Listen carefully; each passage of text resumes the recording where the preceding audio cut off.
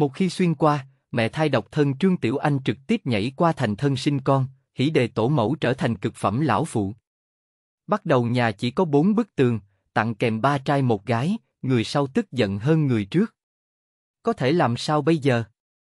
Vén tay áo lên cải tạo hắn nha. Không nghe lời. Nắm tay chính là đạo lý cứng rắn, dưới gậy gộc ra ngoan tử. Cuộc sống càng ngày càng tốt, cả nhà phát hiện, càng ngày càng nhiều quan to quý nhân đến tìm lão thái thái, muốn đón lão thái thái đi dưỡng lão. Không được, nhi tử dưỡng lão nương là thiên kinh địa nghĩa, hoàng đế đến cũng phải xếp hàng. Hoàng đế. Lão sư là trẫm, ai cùng trẫm đoạt cho lão sư dưỡng lão, trẫm tru hắn cửu tộc. Trương Tiểu Anh. Sợ rồi sợ rồi, đoàn sủng này ai thích làm ai làm, ta chính là muốn yên lặng lui về nghỉ ngơi mà thôi. Nữ cường, không chính phú, đề cử kết thúc văn. Làm ruộng văn thủ phụ gia điền viên mảnh thê nông môn tiểu ác nữ, văn trường quốc dân nữ thần siêu túng trọng sinh thiên kim thị học bá bé đáng yêu có chút túng tiểu thuyết mấu chốt. Xuyên thành cực phẩm lão phụ sau, ta thành cả nhà trụ cột không đạn cửa sổ, xuyên thành cực phẩm lão phụ sau, ta thành cả nhà trụ cột TXT toàn tập đao loa, xuyên thành cực phẩm lão phụ sau, ta thành cả nhà trụ cột. Chương 1 Vui khi tổ mẫu bạn đang nghe tại truyện chấm audio. Chương 1 Thích làm bà nội, đại tẩu, ngươi nếu là cảm thấy văn thông đọc sách chiếm các ngươi tiện nghi, nói thẳng chính là, có cần thiết vì lấy về văn thông buộc tu muốn đem nương bức tử sao? Trương Tiểu Anh nhìn người quỳ nói chuyện bên giường, đầu óc ong ong. Ở tận thế mẫu thai độc thân nàng, dị năng cạn kiệt sau khi chết, vậy mà đến một cái tên là Đại Lương Triều Đại, xuyên thành cùng nàng trùng tên 38 tuổi nông phụ, thích làm tổ mẫu. Kỳ thật làm tổ mẫu cũng không có gì không tốt, dù sao trượng phu nguyên chủ chết sớm, ở cổ đại hiếu đạo tối thượng, cái nhà này nàng định đoạt, nhưng vì sao là một lão phụ kỳ hoa toàn thôn đều tránh không kịp. Trọng nam khinh nữ, ngược đãi con dâu cháu gái, trở về trong thôn có động tĩnh gì, đều có liên quan đến nguyên chủ, lưỡi dài lại gây chuyện, hiển nhiên chính là cực phẩm làm cho người ta phiền chán không thôi trong tiểu thuyết. Về phần hài tử được dạy dỗ, Trương Tiểu Anh cũng không biết nên nói cái gì cho phải. Hứa Văn Thông là con trai của lão nhị Hứa Trường Sinh cùng Lâm Thị, cũng là nam tôn duy nhất của nguyên chủ trước mắt, mà lão đại Hứa Thanh Lâm chỉ có hai nữ nhi, bị buộc vì cái nhà này làm trâu làm ngựa. Hứa Trường Sinh giả mù sa mưa nói. Hai nàng đều bốn tuổi, đại tẩu thật vất vả mang thai, đại phu cũng nói là con trai, đơn giản bảo Văn Thông từ học đường trở về, đem thuốc tu cho đại tẩu khám đại phu đi, miễn cho Văn Thông bị mắng tán tận lương tâm, ngay cả tay chân tánh mạng cũng không để ý. Lâm Thị phản đối, trừng mắt nhìn hắn nói.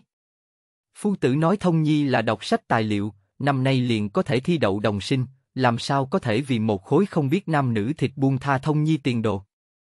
Hứa Trường Sinh thở dài, mấy năm nay Văn Thông đọc sách đều là công trung ra bạc, đại ca đại tẩu trong lòng có oán khí, không hiểu thông nhi là vì hứa gia đọc sách cũng bình thường, cái gì vào triều làm quan, làm rạng rỡ tổ tông về sau ta cũng không nằm mơ, liền thành thật thật trồng trọt đi.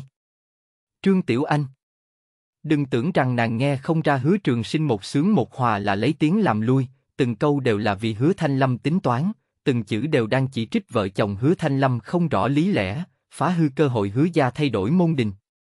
Hôm nay chính là nguyên chủ buộc lương thị mang thai 6 tháng lên núi múc củi, mới làm cho lương thị động thai khí, nguyên chủ còn cự tuyệt trả tiền mời đại phu, càng là bởi vì người bên ngoài vài câu xúi dục đánh lương thị, kết quả không cẩn thận đem chính mình ngã chết.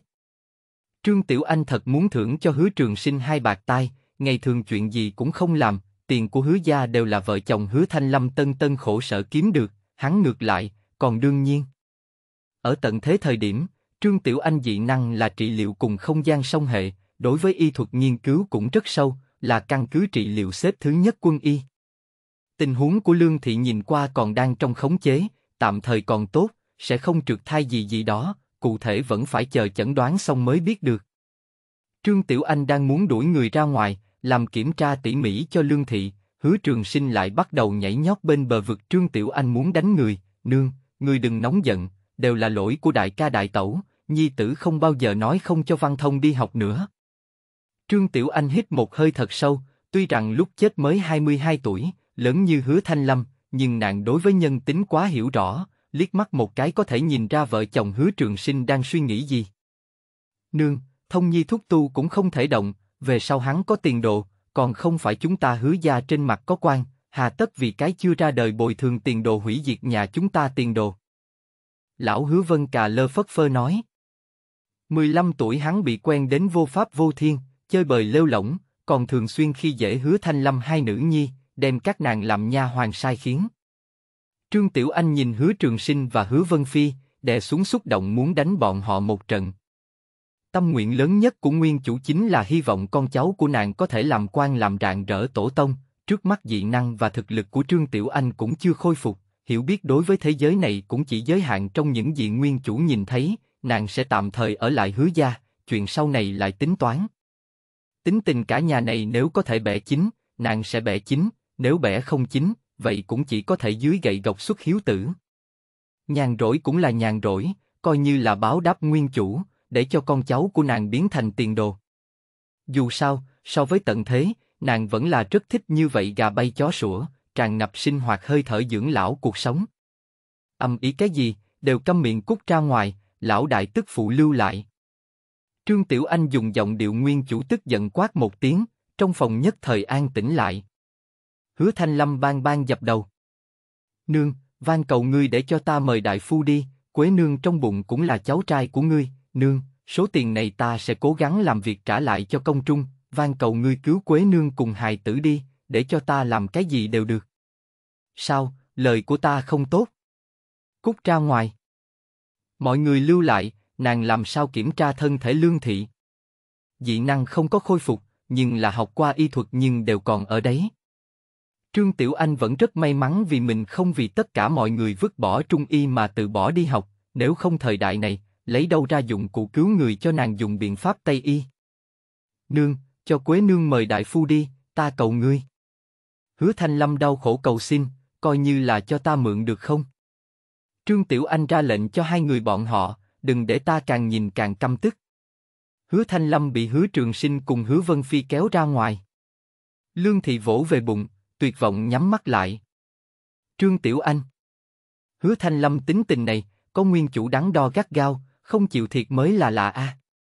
Căn phòng rất nhanh chỉ còn lại Trương Tiểu Anh và Lương Thị. Một lát sau, Lương Thị đứng dậy đỡ bụng đi tới bên giường, sợ hãi mở miệng. Nương.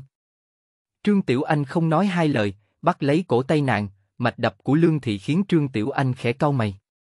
Thù gì oán gì a, đều là nữ nhân, cần gì tra tấn hà khắc như vậy, ăn không ngon mặc không ấm, nguyên chủ mình cũng có nữ nhi, làm sao hạ quyết tâm như vậy?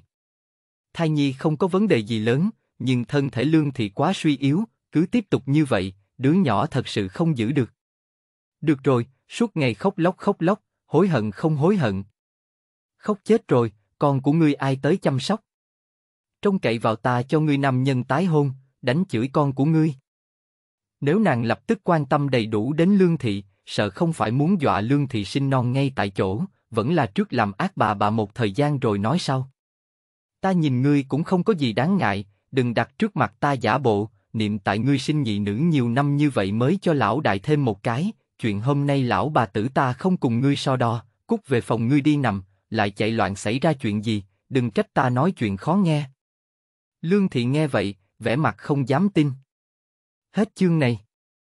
Chương 2 Đại ca muốn tự vẫn rồi. Bạn đang nghe tại truyện chấm audio. Chương 2 Đại ca muốn tự sát đây là 10 câu kia của nàng không có một câu không mắng mẹ chồng nói ra được. Trương Tiểu Anh đứng dậy xuống giường, lấy ra 50 đồng tiền nguyên chủ giấu, ném qua. Còn không mau cút. Lương Thị trợn tròn mắt. Cô ấy nghĩ mình đang mơ. Không muốn phải không? Trương Tiểu Anh hung dữ hỏi. Lương Thị sợ Trương Tiểu Anh đổi ý, vội vàng xoay người đi ra ngoài. Cảm ơn nương. Trương Tiểu Anh không để ý đến nàng, chờ nàng đi được hai bước, cố ý chắp tay trước ngực lẩm bẩm. Lão Tổ Tông, đương gia, ta biết sai rồi, không bao giờ hạ khắc với con cháu hứa gia nữa, các ngươi đừng tìm ta nữa, đừng đưa ta xuống địa ngục. Lương Thị nghe tiếng quay đầu lại, chỉ thấy mẹ chồng uy phong lẫm liệt ngày xưa rung lẩy bẩy, tự hồ bị cái gì dọa sợ. Nàng nhớ tới lúc mẹ chồng tỉnh lại, vẫn ngơ ngác, chẳng lẽ thật sự là tổ tông hiển linh? Lương Thị nắm chặt đồng tiền trong tay, lau nước mắt, nhanh chóng rời khỏi phòng. Lương Thị vừa đi, Trương Tiểu Anh liền quay lại giường, chữ to nằm xuống. Cô phải suy nghĩ kế tiếp phải làm thế nào mới tốt. Hứa Trường Sinh lấy lý do chiếu cố Hứa Văn Thông, mang theo Lâm Thị đi trấn trên ở, hai người cũng không tìm việc làm, mà Hứa Vân Phi cả ngày giống như nhị lưu tử, duy nhất kiếm tiền chính là Hứa Thanh Lâm. Hứa Thanh Lâm tay nghề gì cũng không biết, chỉ có thể dựa vào làm ruộng làm cu ly kiếm tiền, bị cuộc sống áp bức nhìn qua tuổi tác không kém nguyên chủ bao nhiêu. Hứa gia thật sự nghèo a. Số bạc mà nguyên chủ để giành được, cũng chỉ hơn 5 lượng bạc, hứa văn thông thúc tu muốn 5 lượng bạc, nếu không là nguyên chủ tìm đường chết cho mình, đại nữ hài sợ là sẽ bị cầm đi làm con dâu nuôi từ nhỏ đổi xính lễ đưa cho hứa văn thông thúc tu. Trương Tiểu Anh thở dài, nhân cơ hội kiểm tra một chút, phát hiện không gian vẫn còn, nhưng bị tan thi vây khốn hơn nửa tháng, thuốc dinh dưỡng và lương thực đều dùng đến 7-8 phần, bất quá còn có một ít vật tư nàng tự mình tìm kiếm. Không gian của nàng chỉ có công năng lưu trữ, không có linh tuyền cũng không thể trồng trọt. Về phần dị năng trị liệu, trước mắt chỉ có thể làm cho vết thương rách da khôi phục như lúc ban đầu. Tình huống trước mắt chính là nàng dị năng vẫn còn, nhưng bạc nhược, nhưng ngũ giác cùng tốc độ phản ứng lại cùng tận thế không kém nhiều lắm, nói cách khác, nàng tại cái này không có dị năng giả thế giới như cũ rất mạnh. Không có tan thi vây thành, không có biến dị động thực vật, non xanh nước biếc, trong mộng dưỡng lão đào nguyên a. Trương Tiểu Anh đang cảm thán ông trời đối xử với nàng không tệ, chợt nghe ngoài cửa có tiếng thét chói tai. Đương gia, ngươi muốn làm gì? Ngươi là muốn cho hứa gia chúng ta đều bởi vì ngươi bị đâm gãy xương sống, hai cô nàng lớn về sau không có cách nào lập gia đình sao? Nương, mau ra đây a, đại ca ta muốn tự sát rồi. Trương Tiểu Anh nhảy dựng lên. Một đám đồ không bớt lo như vậy. Nàng thuận tay vớt quải trượng bên giường, nổi giận đùng đùng đi ra ngoài. Không đánh thì tìm cái chết. Vừa ra khỏi cửa liền nhìn thấy Hứa Thanh Lâm hai mắt đỏ ngầu đứng ở trong sân mép giếng, trong tay còn cầm thanh củi đao. Cái nhà này là ta tân tân khổ sở chống đỡ, văn thông đọc sách, ta chưa từng nói qua hai lời, cho dù là vợ ta bụng lớn đi làm việc nặng, ta cũng chưa từng nói qua cái gì, nhưng là các ngươi như thế nào đối với ta? Vợ ta động thai khí, ta lại ngay cả tiền mời đại phu an thai cho nàng cũng không lấy ra được. Đại nữ nhị nữ mỗi ngày bị các ngươi sai khiến như nha hoàng, ta làm cha cũng luyến tiếc lớn tiếng nói chuyện với bọn họ, các ngươi thì sao? Không đánh thì mắng, ta bảo vệ không được vợ của ta, bảo vệ không được nữ nhi của ta, cũng bảo vệ không được hài tử chưa ra đời của ta, ta chính là một kẻ bất lực, ta sống có ích lợi gì? Thay vì bị các ngươi bức tử, chi bằng ta đi chết trước. Hứa Trường Sinh bọn họ đều bị tư thế này của Hứa Thanh Lâm hù dọa. Trương Tiểu Anh rất không đồng ý Hứa Thanh Lâm làm việc như vậy, nữ nhi đã lớn như vậy, như thế nào còn giống như lăng đầu thanh, có lẽ có thể lấy được tiền, nhưng cũng sẽ dọa sợ thê nhi, nhất là lương thị, vốn vấn đề không lớn, hắn vừa nói không chừng trực tiếp liền không giữ được hài tử. Nương, người có mời đại phu cho Quế nương không? Hứa Thanh Lâm nhìn chầm chầm Trương Tiểu Anh, hơi run rẩy. Trương Tiểu Anh cười lạnh. Có gan thì nhảy xuống, xem ta có cho người kéo ngươi lên hay không. Sau khi ngươi chết, ta sẽ ném ngươi lên núi, sau đó gả hai cô gái lớn đi, còn có thể đổi chút tiền bạc trở về. Hứa Thanh Lâm sững sốt. Đại nữ cùng nhị nữ quỳ xuống, đại nữ nói. Cha, van cầu người xuống đi, nương còn mang thai hài tử, nếu người chết, chúng ta làm sao bây giờ? Sữa, cha ta chỉ là nhất thời suy nghĩ, cầu người tha thứ cho hắn đi. Lúc này chính là buổi trưa, người trong thôn đều từ trong ruộng làm việc trở về, hứa gia nháo động tỉnh này, lập tức liền đưa tới không ít người tham gia náo nhiệt. Hứa Thanh Lâm nhìn thấy hai nữ nhi, tâm lập tức liền rối loạn. Trương Tiểu Anh nhân cơ hội tiến lên, một tay đẩy hắn từ mép giếng xuống, tiếp theo một quải trượng nện xuống. Hứa Thanh Lâm rên rỉ một tiếng. Đồ vô dụng, một khóc hai nháo ba thắt cổ, ngươi hù dọa ai đây? Trời đánh đồ chơi, sớm biết ngươi như vậy tru tâm của ta, lúc trước còn không bằng một phen bóp chết ngươi bớt lo, để ngươi hôm nay như vậy đến giận ta. Trương Tiểu Anh học theo ngữ khí của nguyên chủ, vừa đánh vừa mắng. Lương Thị xông tới muốn đỡ hứa Thanh Lâm, Trương Tiểu Anh phản ứng rất nhanh đem quải trượng rơi xuống một chỗ khác, thiếu chút nữa nhìn không được trận trắng mắt.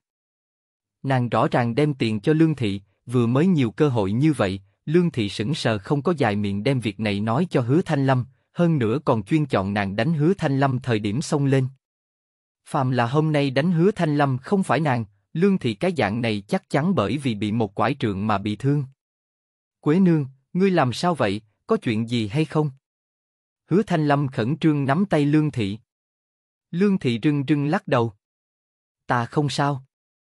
Trương Tiểu Anh. Trương Thị cái này lão bà tử thật ác độc, Quế Nương thật vất vả mang thai, còn luận ma Quế Nương, chính nàng cũng không phải cái nữ nhân sao. Cậu xem bà ta bắt nạt người ta thảm hại thế nào, chật chật chật, bà lão này sớm muộn gì cũng gặp báo ứng. Quế Nương lên núi ngã, động thai khí, lão thành bà này ngay cả đại phu cũng không mời, Thanh Lâm cũng bị ép chết rồi.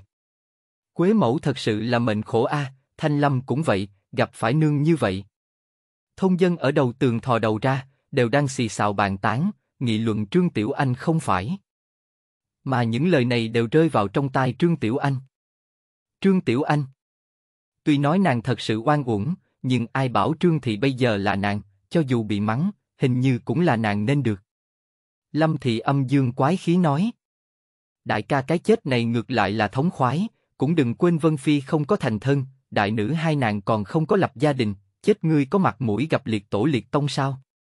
Dừng một chút, Lâm Thị nhìn về phía Trương Tiểu Anh, hay là bảo Văn Thông về nhà đừng đọc sách, tránh cho đến lúc đó tội danh bức tử đại phòng trên lưng nhị phòng chúng ta, không có mặt mũi gặp người.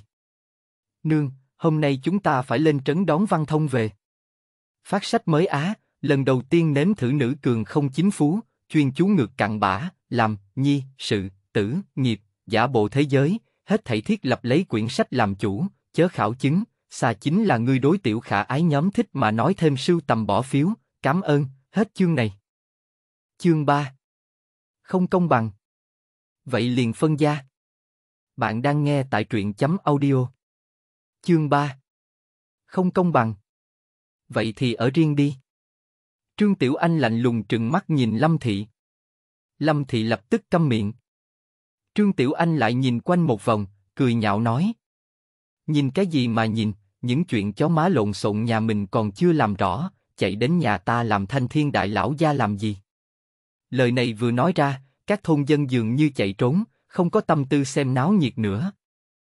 Nói giỡn, hứa gia lão thái thái này có thể so với lưu manh ai dám trêu chọc.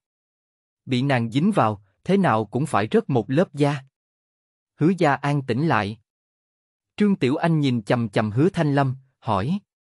Còn muốn đi tìm chết sao?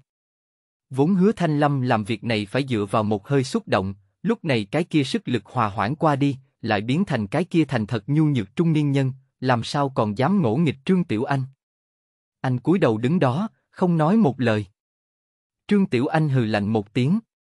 Đồ mất mặt xấu hổ, còn không mau vào đây. Dứt lời, Trương Tiểu Anh xoay người đi vào trong phòng. Hứa Trường Sinh lắc đầu, cũng đi theo trở về. Lâm Thị trợn trắng mắt đuổi theo. Lương Thị thấy thế, lúc này mới nhỏ giọng nói với Hứa Thanh Lâm. Ngươi hiểu lầm nương, nương cho ta 50 văn. Hứa Thanh Lâm trừng to mắt, thật sao? Xuyệt. Lương Thị bảo hắn đừng lên tiếng, về trước đi, ngươi hảo hảo cùng nương nói lời xin lỗi. Lương Thị nhớ tới lúc trước ở trong phòng nhìn thấy phản ứng của mẹ chồng, chần chờ một lát, cuối cùng vẫn không nói ra. Trương Tiểu Anh ở nhà chính ngồi xuống, Lương Thị cùng Hứa Thanh Lâm đối thoại, đều bị nàng nghe hết. Cũng không phải cô muốn nghe, nhưng tài quá tốt cô cũng không có biện pháp.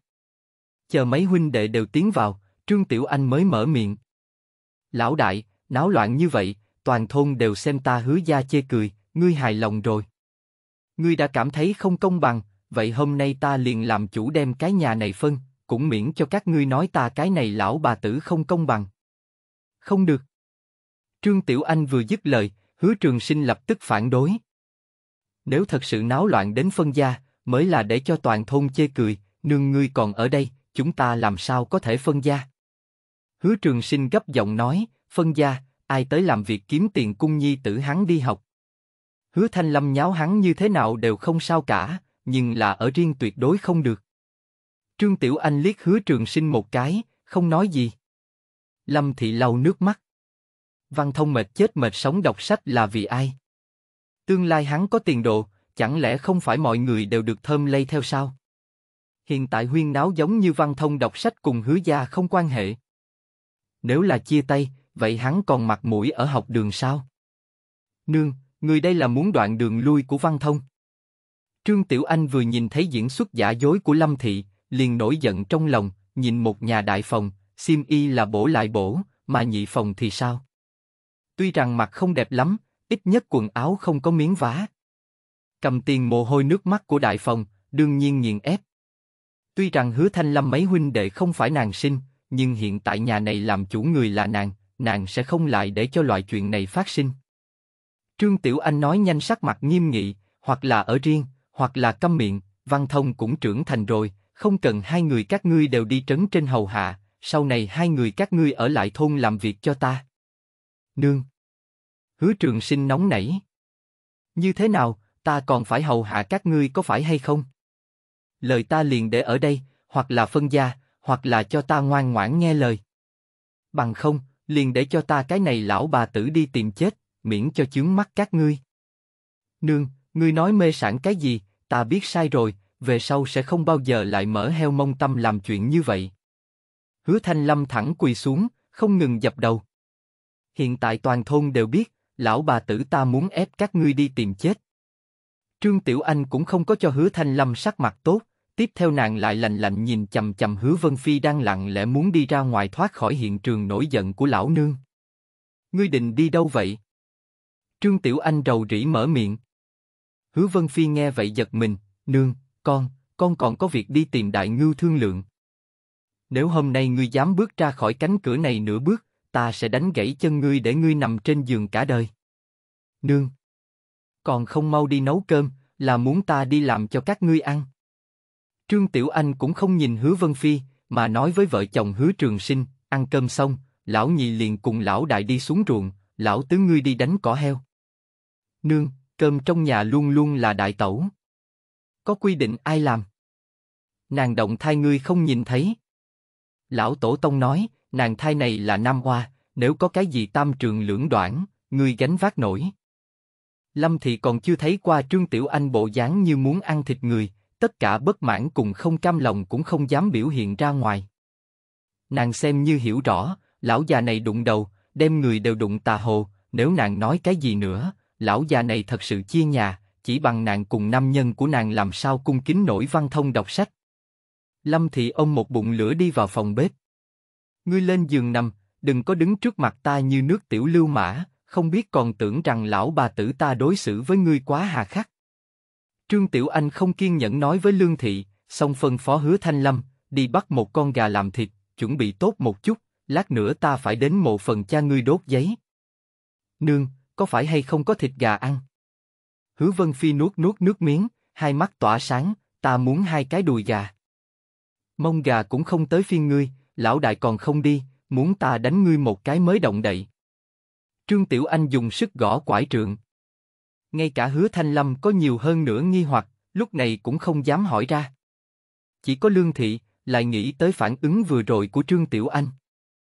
Nàng thấp giọng đem chính mình lúc trước nhìn thấy một màn kia nói cho hứa Thanh Lâm. Hứa Thanh Lâm trợn tròn mắt, chẳng lẽ lúc nương ngất đi, cha cùng các tổ tông đều hiển linh. Bằng không con mẹ nó sẽ thay đổi tính tình đem gà coi là bảo bối làm thịt. Trong khoảng thời gian này đừng chọc nương tức giận, ta đi nằm trước, đường gia ngươi mau làm việc đi. Lương Thị thúc giục. Hứa Trường Sinh cũng nghe thấy Lương Thị nói, vẻ mặt hoài nghi nhìn chầm chầm Lương Thị, đại tẩu, có vài lời cũng không thể nói lung tung. Nếu là nửa câu nói dối, bảo ta cùng hài tử đều không được chết tử tế. Lương Thị cố lấy dũng khí phản bác Hứa Trường Sinh. Trong lúc nhất thời, Hứa Trường Sinh cũng nghẹn lời. Hắn nhớ tới câu nói, lão tổ tông nói, thai này của nàng là nam oa của Trương Tiểu Anh. Chẳng lẽ lão nương thật sự gặp tà nhìn thấy quỷ? Bằng không làm sao giải thích hành vi lúc này của cô? Còn muốn giết gà đi trước mộ đốt giấy cho lão cha đã chết sớm. Hứa Trường Sinh âm thầm thầm nghĩ. Hứa Trường Sinh không dám nói gì nữa, nhanh chóng đi làm việc. Mấy huynh đệ Hứa Thanh Lâm đều là nông dân sinh ra và lớn lên ở đây, cũng không dám hoài nghi mẹ ruột mình có phải bị cô hồn giả quỷ chiếm hay không. Dù sao giọng nói của nàng cái gì cũng không khác gì bình thường, nhiều nhất cũng chỉ hoài nghi lúc nàng ngất đi nhìn thấy cái gì. Trương Tiểu Anh biết rõ động tĩnh bên ngoài, cũng không rảnh để ý. Nguyên chủ là đụng vào đầu mất mạng, Trương Tiểu Anh từ khi tỉnh lại đã đau đầu muốn chết. Nàng đem chốt cửa cắm lại, từ trong không gian lấy ra một bộ kim bạc. Hết chương này.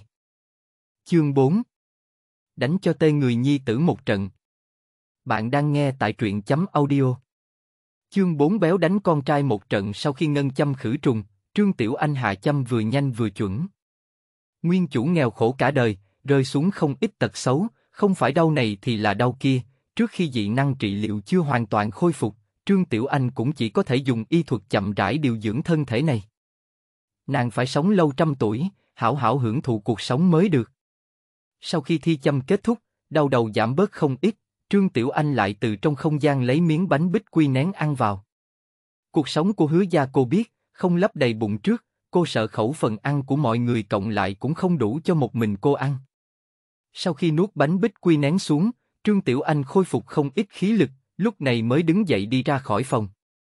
Đại nữ đang dọn dẹp chuồng gà trong sân, nhị nữ thì đang quét dọn sân, mà Hứa Vân Phi nằm ở trên chiếc ghế nằm rách nát dưới mái hiên, thoải mái làm đại gia.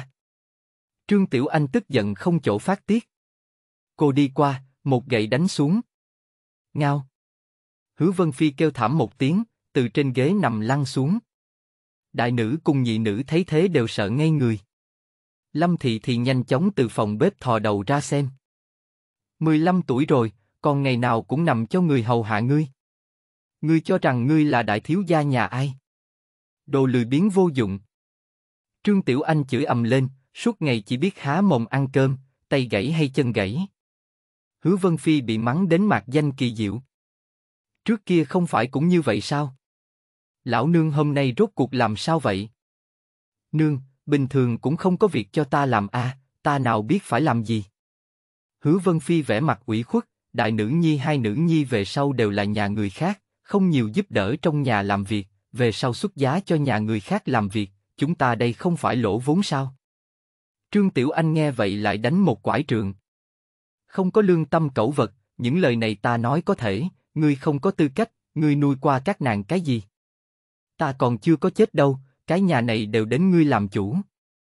Hứa Vân Phi gào khóc thảm thiết. Đại nữ cùng nhị nữ đều choáng váng.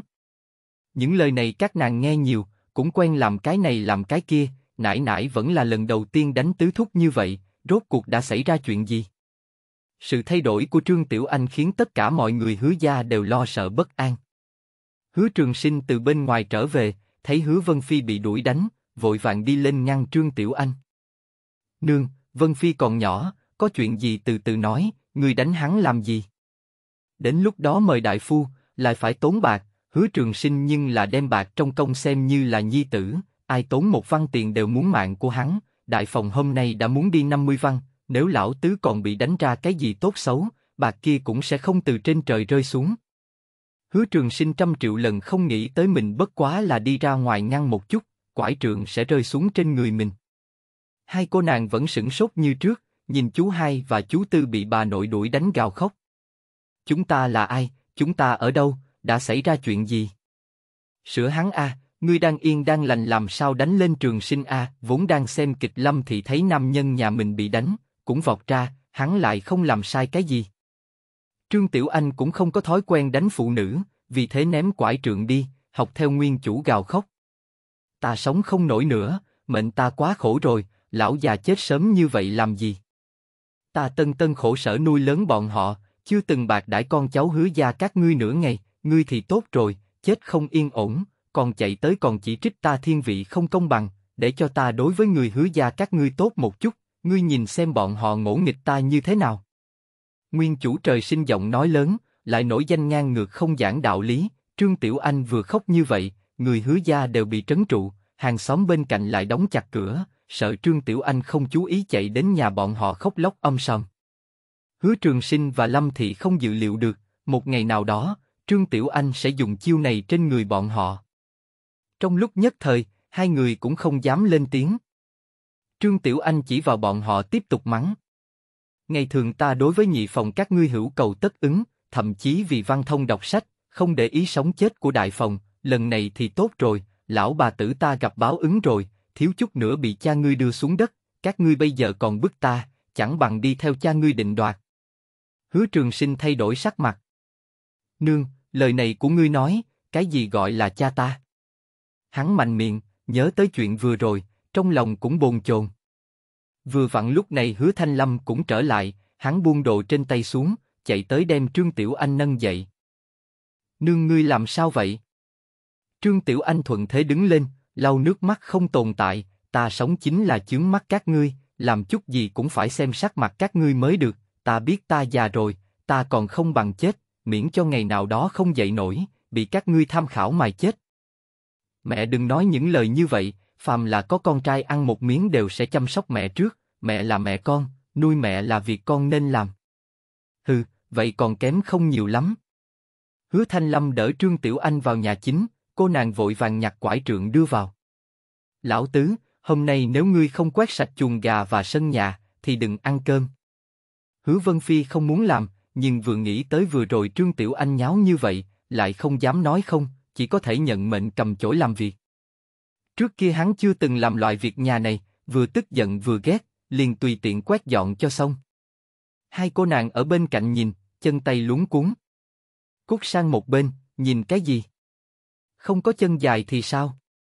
Hứa Vân Phi giận chó đánh mèo lên người hai cô nàng. Nhị nữ vốn sợ hắn, bị hắn trống lên như vậy, nhất thời run lẩy bẩy. Trương Tiểu Anh nghe được Hứa Vân Phi đối với tiểu hài tử như vậy, lại bắt đầu đè nén không được lửa giận. Lão tứ, ngươi cút vào đây cho ta, cho ngươi làm chút việc liền đâm dài có phải hay không?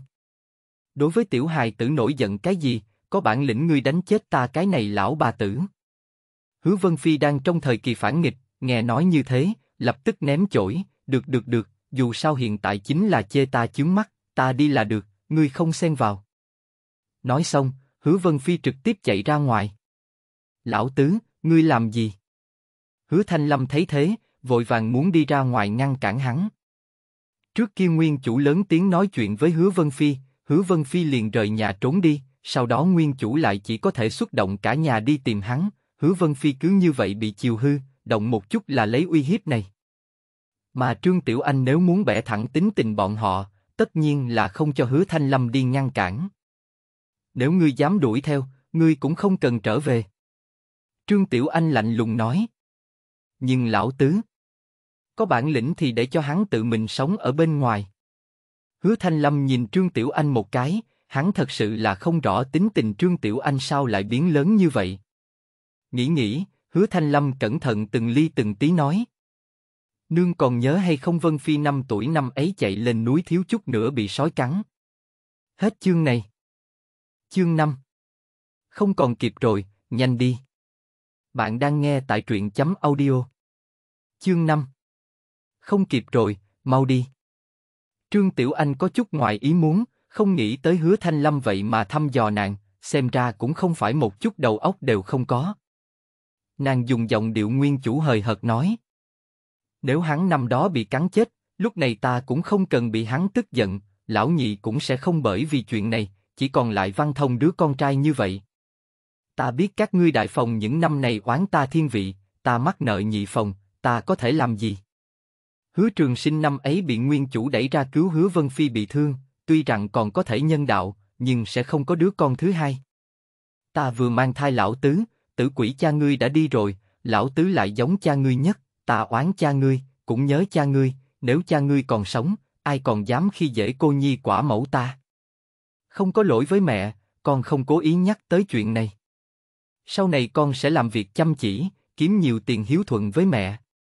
Được rồi, đừng nói những thứ kia có hay không, gà chuẩn bị xong chưa? Buổi trưa ta còn phải đi đốt giấy cho tử quỷ cha ngươi. Đã tốt rồi, nương, lúc trước là ta hiểu lầm ngươi, xin lỗi, ta về sau không bao giờ chọc giận ngươi nữa. Trương Tiểu Anh nhìn hắn, hừ lạnh một tiếng, nhưng không nói gì nữa. Ta đi làm việc trước. Hứa Thanh Lâm vẫn là gọi lão nương hắn, tìm cái cớ liền đi ra ngoài. Ánh mắt Trương Tiểu Anh rơi xuống trên mặt đại nữ hài. Đại nữ hài năm nay đã 6 tuổi, ngoại trừ bị phơi nắng đến tương đối đen, xuất lạc cũng không tệ lắm, dù sao hứa gia bộ dạng đều còn rất tốt. Sữa.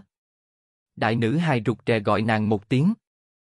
Trương Tiểu Anh có lòng muốn nói gì đó, nhưng thấy nàng sợ hãi như vậy, lại nuốt trở vào. Quên đi, còn nhiều thời gian, có một số việc từ từ sẽ đến. Đi chăm sóc mẹ ngươi đi. Trương Tiểu Anh khoát tay, ý bảo đại nữ đi. Nàng khẳng định không thể giống như nguyên chủ nữa, hiện giờ cũng coi như đại khái hiểu rõ tính tình người hứa gia, phải nghĩ biện pháp chỉnh đốn bọn họ mới được. Chờ Lâm Thị nấu cơm xong, Trương Tiểu Anh vừa nhìn, khóe miệng giật giật. Nàng biết hứa gia nghèo, không có lương thực tốt, nhưng Lâm Thị làm ra những thứ này, đúng là người ăn sao? Khác biệt duy nhất với thức ăn heo lương thị làm ra chính là có thêm một chút dầu mỡ. Khó trách nguyên chủ chưa bao giờ cho Lâm Thị xuống bếp. Nguyên liệu nấu ăn thuần thiên nhiên, Trương Tiểu Anh cũng khó có thể nuốt xuống. Còn không bằng ăn sống. Trương Tiểu Anh tùy tiện đối phó hai miếng rồi thả đũa. Lâm Thị thấy thế, sắc mặt không tốt. Trương Tiểu Anh cũng mặc kệ nhiều như vậy. Nàng trở về phòng ngủ trưa một lát, liền mang theo gà cùng giấy tiền hương đến những thứ này, mang theo Lâm Thị cùng đại nữ hài lên núi.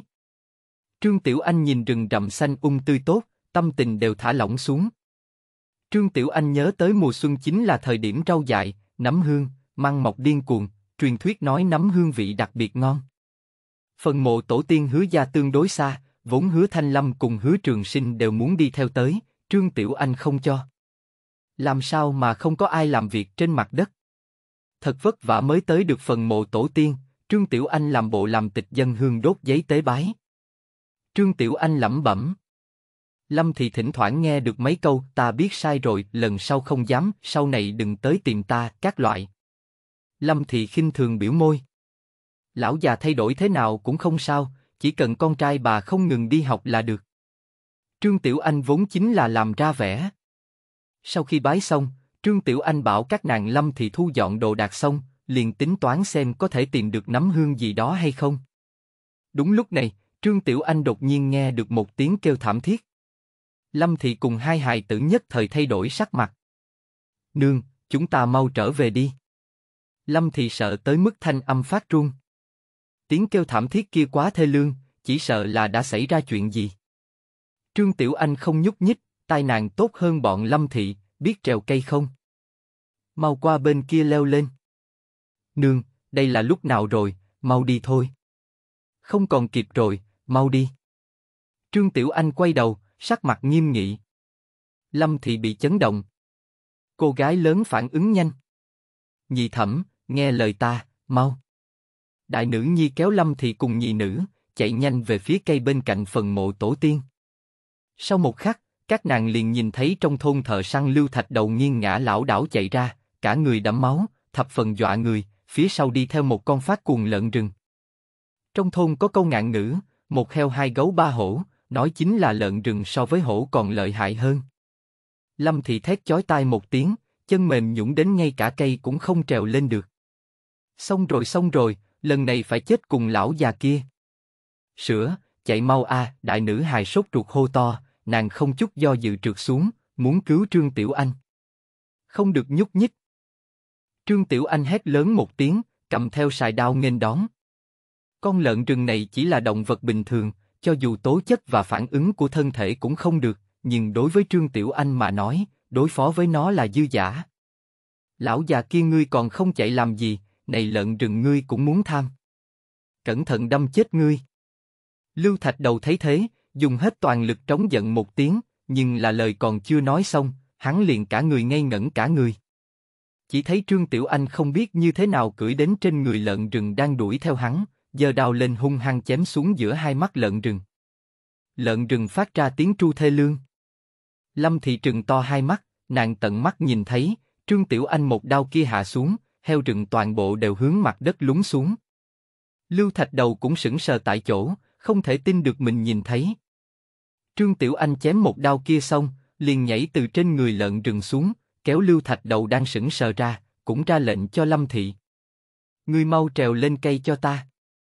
Lâm Thị cũng nhìn ra lợn rừng đáng sợ, khí lực đi lên, cọ cọ đi lên. Lợn rừng giãy dụ hồi lâu, mới dần dần dừng lại, cuối cùng hoàn toàn chết. Nếu không là phần mộ tổ tiên hứa gia tu sửa rắn chắc, sợ là đều bị lợn rừng này đào. Lưu Thạch Đầu tìm được đường sống trong chỗ chết mềm nhũn ngồi phịch trên mặt đất. Hứa gia thẩm tử, hôm nay cảm ơn ngươi, nếu không phải ngươi, tính mạng của ta liền giao phó ở đây. Nếu lợn rừng là ngươi giết chết, ngươi tìm người mang về đi. Người trong thôn Đại Phúc đều không thích Trương Tiểu Anh, bao gồm Lưu Thạch Đầu, nhưng một thước quy một thước, tâm tình Lưu Thạch Đầu rất phức tạp, nhưng hắn được Trương Tiểu Anh cứu lại là sự thật không thể chối cãi. Trương Tiểu Anh không khách khí với Lưu Thạch Đầu, con lợn rừng này vốn là do nàng giết. Bất quá Lưu Thạch Đầu chảy máu quá lợi hại, nếu không kịp thời cấp cứu, mạng nhỏ sẽ không còn. Trương Tiểu Anh xoay người nói với Lâm Thị. Đại nữ nhân, ngươi ở đây trông chừng hắn, ta đi một chút sẽ về.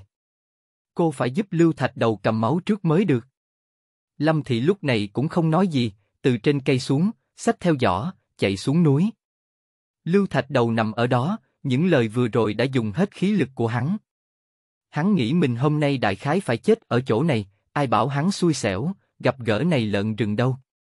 Đại nữ rất lo lắng, thấy ảnh chân dung Lưu Thạch nhắm mắt lại, nàng vội vàng hô. Chú Lưu, chú đừng ngủ, thím hai cháu sẽ nhanh chóng gọi người lên. Ngộ nhỡ hắn chết, người trong thôn tưởng là bà nội muốn heo rừng giết hắn thì làm sao bây giờ? Hết chương này. Chương 6 Là chúng ta cứu được hắn. Bạn đang nghe tại truyện chấm audio. Chương 6 Là chúng ta cứu hắn. Lưu Thạch Đầu nhìn thoáng qua cô gái lớn, hữu khí vô lực mở miệng. Đại nữ hài không biết mình nên làm cái gì, cũng không dám lộn xộn Lưu Thạch Đầu, An Vị ở bên cạnh vẫn gắt gao nhìn chầm chầm Lưu Thạch Đầu, một khi phát hiện Lưu Thạch Đầu muốn nhắm mắt lại, nàng liền đánh thức người, không cho Lưu Thạch choáng váng đầu đi qua. Trương Tiểu Anh nhanh chóng tìm thảo dược cầm máu trở về. Đại nữ hài thấy thế vội vàng đứng dậy. Có sợ không? Trương Tiểu Anh nhìn đại nữ một cái. Đứa nhỏ 6 tuổi nào có đạo lý không sợ, sắc mặt cô gái trắng bệch, nhưng vẫn lắc đầu nói. Không sợ. Ừ, đây mới là đứa bé ngoan của hứa gia. Trương Tiểu Anh tán thưởng nói, nào, giúp bà nội một chút. Cô gái lớn sững sốt một chút, bà nội chưa từng dùng qua ngữ khí như vậy nói chuyện với cô, trước kia không phải đánh thì là mắng, tuyệt đối không có khả năng quan tâm và khen cô. Ta, ta muốn làm gì? Đại nữ hài rất nhanh phục hồi tinh thần lại, sợ hãi mở miệng hỏi. Trương Tiểu Anh vừa xử lý thương thế của Lưu Thạch Đầu, vừa nói. Làm theo lời ta nói. Trương Tiểu Anh kỳ thật không cần đại nữ hỗ trợ, chỉ là nàng dù sao cũng chỉ là một hài tử, bị ép trải qua tràn diện máu tanh như vậy, khó tránh khỏi sẽ lưu lại bóng ma, thậm chí sẽ bị dọa. Cho nên Trương Tiểu Anh hy vọng dùng y thuật cứu Lưu Thạch Đầu về để tiêu trừ sợ hãi trong lòng đại nữ hài. Nơi này không phải tận thế, ấu tể cũng không phải hiểu chuyện bắt đầu học giết địch sống sót. Lưu Thạch Đầu cắn răng chịu đựng, mồ hôi lạnh như mưa. Đại nữ nhi nhìn bộ dáng nghiêm túc của Trương Tiểu Anh, cảm thấy nàng rất không giống bình thường. Trương Tiểu Anh đơn giản rửa sạch vết thương cho Lưu Thạch Đầu, đem thuốc giả nhỏ cho hắn cầm máu, bảo cô nàng đem tấm vải đắp rỗ đưa tới, sau đó xé ra băng bó cho Lưu Thạch Đầu. Cầm máu, trạng thái của Lưu Thạch Đầu khá hơn một chút.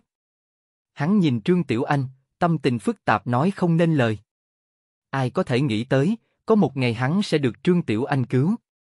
Trương Tiểu Anh không rảnh để ý Lưu Thạch Đầu nghĩ gì, bận rộn lâu như vậy, đói bụng kêu ùng ục. Ánh mắt nàng rơi xuống con gà trong giỏ.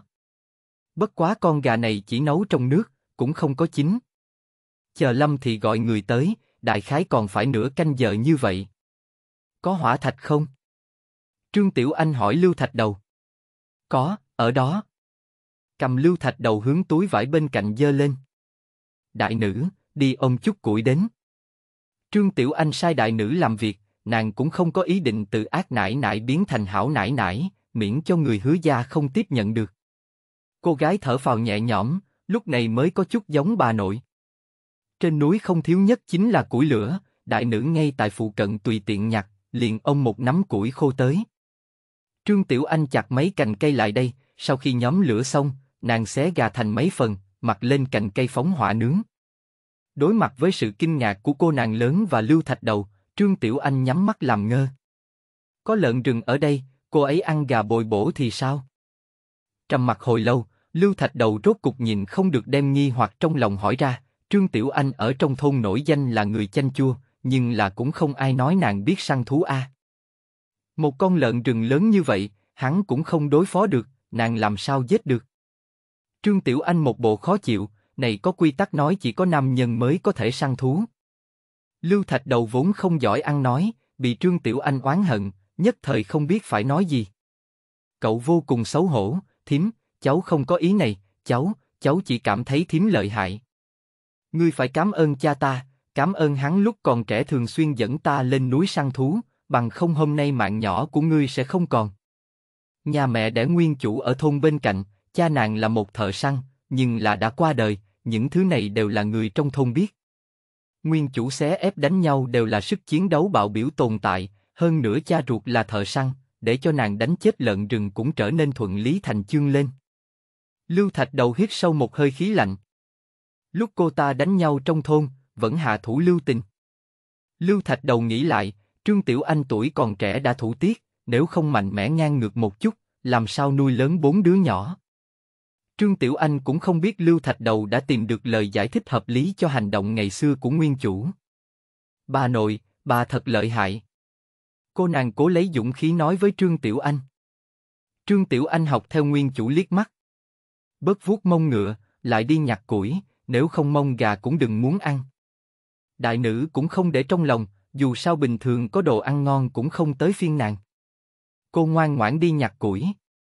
Mạng của ngươi là ta cứu, ta cũng không cần bạc, lát nữa bắt con gà cho ta. Trương Tiểu Anh xoay con gà, nói với Lưu Thạch Đầu, lão nhị gia ta bùng ba cho ngươi. Nên làm. Lưu Thạch Đầu không chút nghĩ ngợi liền đáp ứng.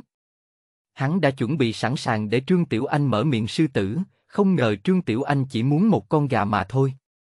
Thịt gà không có muối, nhưng sau khi nướng chín vẫn tản mát ra từng trận mùi thịt, đại nữ hài cùng Lưu Thạch Đầu đều nhịn không được nuốt một ngụm nước miếng. Trương Tiểu Anh chia hai đùi gà cho đại nữ và Lưu Thạch Đầu, chỉ chỉ phần mộ tổ tiên hứa gia, ăn đi, miễn cho lát nữa bọn họ nói ta không có nhân tính. Hai người ngạc nhiên, nhất là đại nữ, căn bản không thể tin được trước mặt chính là đùi gà. Muốn ta cho ngươi ăn không được. Cho ngươi sắc mặt tốt liền đạp lên mũi phải không? Trương Tiểu Anh hung dữ nói. Đại nữ hài sững sờ nhận lấy, mùi thịt xông vào mũi, làm cho nàng cảm thấy bụng càng đói. Nàng rất muốn ăn, nhưng là nhớ tới trong nhà mẫu thân cùng mùi mùi, nàng yếu ớt mở miệng hỏi. Sữa, ta có thể để lại cho mẹ ta sao? Động tác Trương Tiểu Anh đưa đùi gà cho Lưu Thạch đầu dừng lại. Không ăn thì đưa cho ta, nói nhảm nhiều như vậy, còn muốn kiện ta trước mặt lão tổ tông hứa gia hay sao? Đại nữ hài bị thần sắc Trương Tiểu Anh dọa sợ, lập tức nhét đùi gà vào miệng. Lưu Thạch đầu đang muốn cự tuyệt thấy thế, cũng không dám nói chuyện, yên lặng tiếp nhận đùi gà ăn. Hắn đối với bộ dáng hung tàn của Trương Tiểu Anh khi giết lợn rừng ký ức hãy còn mới mẻ. Chờ Lâm Thị dẫn người tới, ba người Trương Tiểu Anh đã ăn sạch gà, chỉ còn lại xương gà đầy đất. Lâm Thị tức giận không chỗ phát tiết, nhưng Trương Tiểu Anh là mẹ chồng nàng, nàng có giận cũng chỉ có thể nhìn xuống. Đương gia, ngươi thế nào rồi? Vợ Lưu Thạch đầu khổng thị nhào tới, nước mắt rơi như mưa. Ngươi nếu có cái gì dài không ngắn, bảo ta làm sao bây giờ a? Dứt lời, mắt khổng thị muốn nứt ra, gắt gao nhìn Trương Tiểu Anh. Chuyện này tuyệt đối không thể bỏ qua như vậy, ta nhất định phải cáo quan. Trương Tiểu Anh. Nàng còn chưa kịp nói cái gì, thôn dân cùng đi tới liền lòng đầy căm phẫn mở miệng. Hứa gia thím, làm người không phải như vậy, ngươi muốn thịt lợn rừng, cùng thạch đầu nói một tiếng không phải tốt rồi sao? Không sai, trước kia ngươi ở trong thôn hoành hành ngang ngược còn chưa tính, hiện tại chính là một mạng ngươi. Đều cùng một thôn, ngươi làm ra chuyện như vậy, cho dù là lý trưởng tới, cũng khiến lưu gia khó có thể nuốt xuống khẩu khí này. Ta nói không phải mẹ ta làm, các ngươi biết sao? Lâm Thị cả giận nói, ta nói với các ngươi bao nhiêu lần, là chúng ta cứu họ lưu. Hết chương này. Chương 7 Cho nhà ta đại nữ chịu tội. Bạn đang nghe tại truyện chấm audio. Chương 7 Cho đại nữ nhà ta bồi thường không đúng nàng đạp hứa trường sinh một cái, ngươi liền trơ mắt nhìn bọn họ nói dối vu khống chúng ta.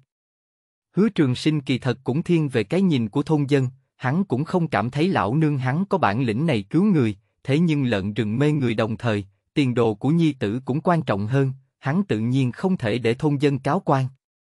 Cũng không đợi hứa trường sinh nói chuyện, Lưu Thạch đầu hướng về khổng thị quát. Ngươi đừng nói lung tung, đừng để cho ta Lưu Thạch đầu biến thành lấy oán trả ơn người. Các vị thúc bá huynh đệ, nghe ta nói một câu, chuyện hôm nay, thật sự là hứa gia thẩm tự cứu ta.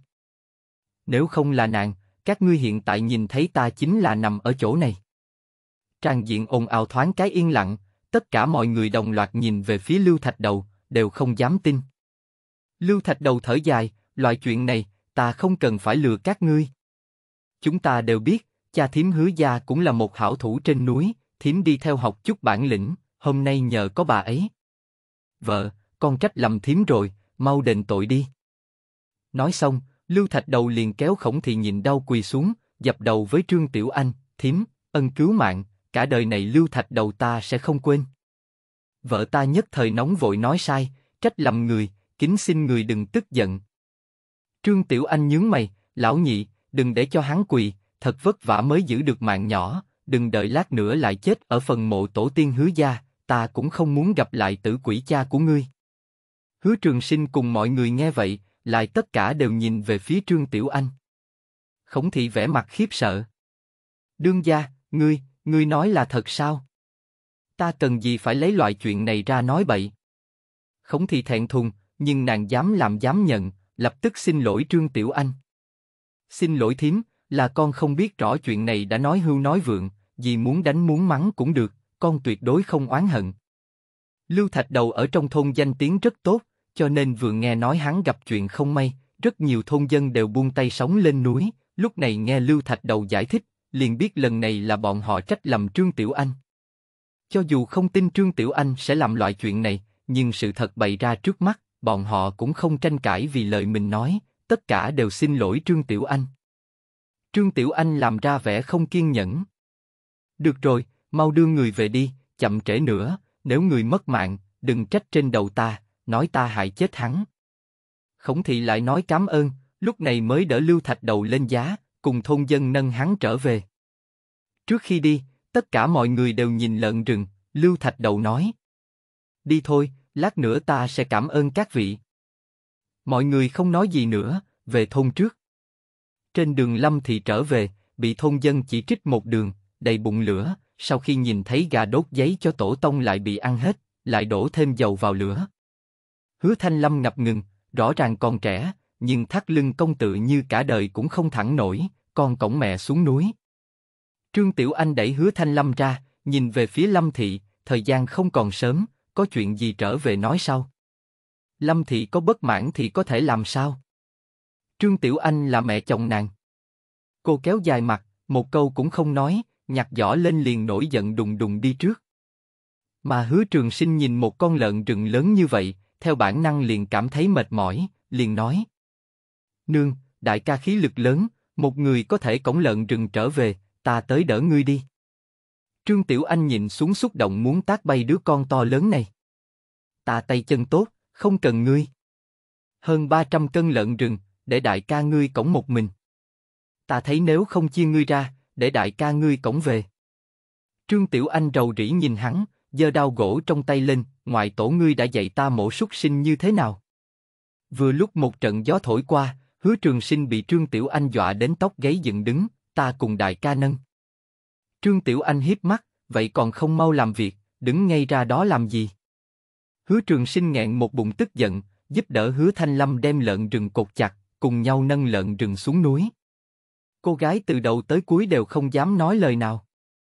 Trương Tiểu Anh cũng không lên tiếng nữa, một đường đều quan sát hoàn cảnh và thảm thực vật phía sau núi. Tục ngữ nói dựa vào núi ăn núi, hứa gia không thể tiếp tục nghèo. Bất quá hiện tại cũng không gấp được, Trương Tiểu Anh chậm rãi có kế hoạch trong lòng. Trở lại trong thôn, việc Trương Tiểu Anh đánh chết lợn rừng cứu Lưu Thạch Đầu đã sớm truyền ra, thôn dân đều chạy tới vây xem lợn rừng hứa gia. Đại đa số đều không tin Trương Tiểu Anh thật sự cứu người, bọn họ đều nghiêng về Trương Tiểu Anh khi dễ Lưu Thạch Đầu thành thật, ép Lưu Thạch Đầu nói như vậy. Kỳ thật cũng không trách bọn họ nghĩ như vậy, nguyên chủ ở trong thôn chiếm tiện nghi loại chuyện này cũng làm không ít. Đáng thương tảng đá, thật vất vả đánh tới con lợn rừng, mắt thấy có thể đổi chút bạc, không nghĩ tới đụng phải trương thị lão bà này, mất trắng lợn rừng không nói, thiếu chút nữa liền mạng đều đáp lên. Ngươi nhỏ giọng một chút, nghe nói trương thị gặp quỷ, rất tà, cẩn thận bị nàng theo dõi, cho ngươi cởi một lớp da, dù sao sau này rời xa hứa gia là được. Đồ không biết xấu hổ, vì lợn rừng, ngay cả người cũng dám giết, lưu gia vì cái gì không báo quan. Ít nhất cũng để cho thôn trưởng ra mặt a, tốt nhất là đem lão bà tử này đuổi ra thôn chúng ta mới tốt. Nói những lời này, đều là bình thường cùng nguyên chủ không đối phó. Muốn nói nguyên chủ chanh chua, mấy người này cũng không kém, ông đoàn nhằm vào nguyên chủ một cái. Lúc trượng phu nguyên chủ vừa chết, các nàng còn ở trong thôn bịa đặt nguyên chủ cùng giả nam nhân thông đồng thành gian, mưu hại thân phu, khó nghe như thế nào nói như thế nào, sau đó vẫn là nguyên chủ dũng mãnh, trực tiếp xé tới cửa, lời đồn lúc này mới không còn. Triệu gia, nghe nói các ngươi dự định để cho đại nữ qua cửa, cho gốc rễ làm vợ. Thượng bất chính hạ loạn, lão tâm tư ác độc, tiểu nhân cũng không kém, sợ không phải nhỏ như vậy liền đi quyến rũ gốc rễ nhà các ngươi. Từ thị lời còn chưa nói xong, đã bị một cái bạc tài đánh cho tiêu thanh.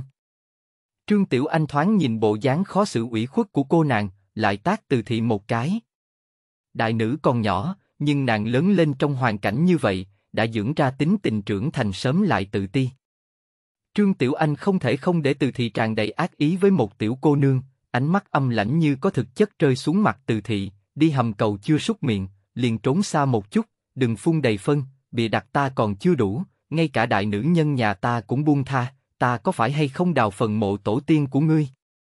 Từ thị che mặt, nhìn chầm chầm Trương Tiểu Anh nghiến răng nghiến lợi. Lão già, ta liều mạng với ngươi. Nàng nhào tới đánh Trương Tiểu Anh. Nhưng mà, trong nháy mắt tiếp theo, Từ thị liền mồ hôi lạnh chảy ròng đứng tại chỗ, run rẩy cúi đầu nhìn lại, chỉ thấy một thanh củi đao gác ở trên cổ của nàng. Giết, giết người. Từ thị sợ tới mức lên tiếng, cứu mạng a. Sai đao của Trương Tiểu Anh vừa chống về phía trước, hai chân từ thị như nhũng ra, thiếu chút nữa liền ngồi xuống. Chung quanh lặng ngắt như tờ, đều trừng to mắt nhìn Trương Tiểu Anh. Trương Tiểu Anh nhìn từ thị, gằn từng chữ. Bồi thường cho đại nữ nhà ta. Hết chương này. Chương 8 Hy vọng nải nải vĩnh viễn dạng này. Bạn đang nghe tại truyện chấm audio.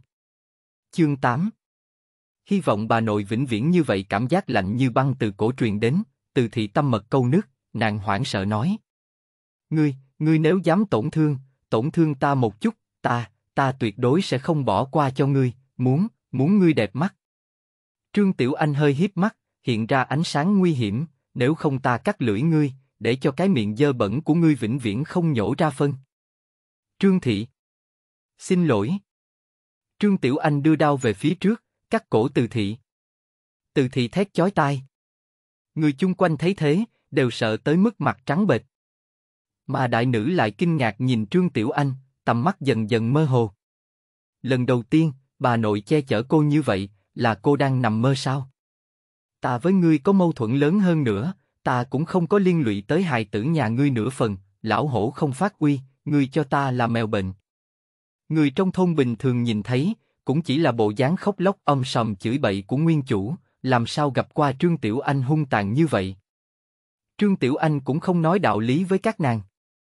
Trương Tiểu Anh cũng quá rõ ràng thời đại này lời đồn đối với cô nương ác ý. Huống chi đại nữ còn là một hài tử. Thấy Trương Tiểu Anh đến thật, từ thì cũng lúng cuốn. Ngươi, ngươi đừng sằng bậy, nếu ta chết, ngươi không rơi vào đâu được. Từ thị không còn kiêu ngạo như vừa rồi, run lẩy bẩy. Điếc. Trương Tiểu Anh tiến lại gần, lấy lưng dao vỗ vỗ mặt từ thị, xin lỗi không nghe thấy. Đại nữ à, vừa rồi ta không giữ cửa, nói bừa, ngươi đừng để ý, người dưới đao củi, không thể không cúi đầu. Từ thị nhếch khóe miệng cười với đại nữ, ngươi sẽ không để ý đúng không? Đại nữ hài cẩn thận nhìn Trương Tiểu Anh một cái. Nàng vẫn sợ Trương Tiểu Anh sẽ mắng nàng. Ngươi xem đại nữ cũng không nói gì nữa, đào có thể lấy ra hay không?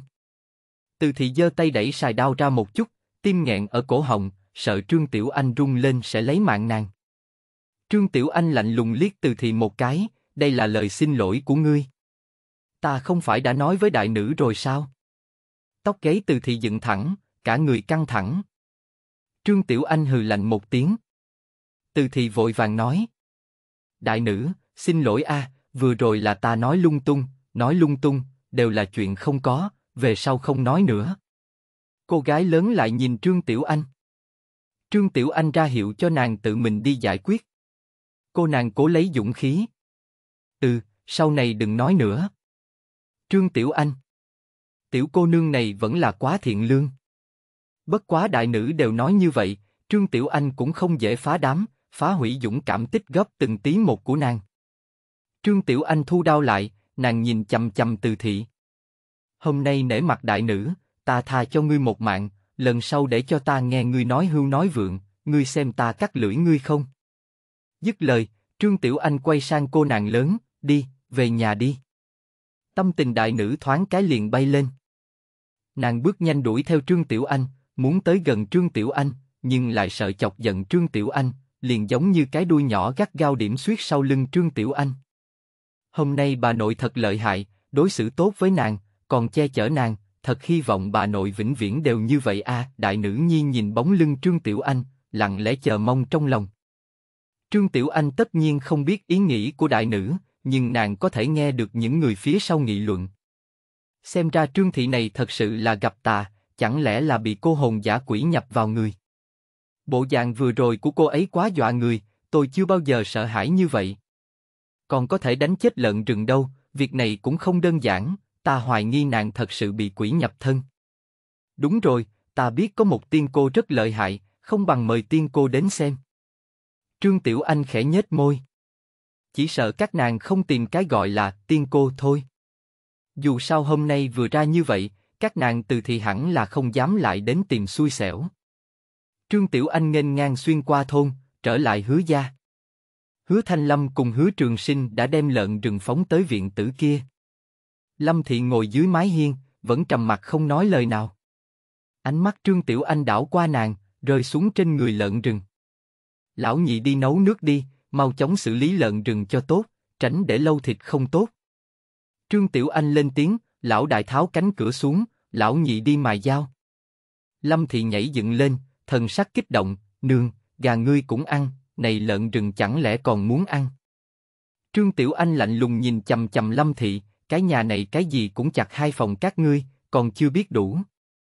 Lâm Thị nghe vậy, nhất thời thay đổi sắc mặt, nương, ta không phải ý này. Không phải là nhìn ta ăn con gà kia, trong lòng ngươi không thoải mái sao? Vậy ta hỏi ngươi, lợn rừng ai giết? Ai cứu mạng ngươi? Trước kia ta cảm thấy mắc nợ lão nhị mới đối tốt với các ngươi, mà không phải chuyện tốt gì đều đương nhiên muốn cho nhị phòng. Ta. Mấy năm nay, ta bạc đãi ngươi. Đại phòng mệt chết mệt sống, nói qua nửa câu không phải. Ta xem như hiểu được, ta càng là đối với các ngươi tốt, các ngươi lại càng không biết tốt xấu, cho rằng cái gì cũng nên các ngươi. Ngữ khí Trương Tiểu Anh chợt phát lạnh, ánh mắt cũng sắc bén theo. Chúng ta ở trong thôn qua ngày gì trong lòng ngươi không đếm. Không phải là một lần không có các ngươi, chính là ta lão bà tử không đúng. Lâm Thị bị Trương Tiểu Anh làm cho khiếp sợ, hồi lâu cũng không thể nói ra nửa chữ. Nàng luôn cảm thấy, chính mình nếu phản bác nửa câu, mẹ chồng đau dưới một khắc sẽ rơi xuống trên đầu nàng. Còn không mau đi làm việc. Trương Tiểu Anh quát. Lâm Thị khẽ cắn môi, cúi đầu không cam lòng đi vào phòng bếp. Lúc này Lương Thị cũng từ phòng đi ra. Trương Tiểu Anh thấy thế nhíu mày. Ngươi chạy ra đây làm gì? Nương, con đã không còn việc gì, có thể làm việc.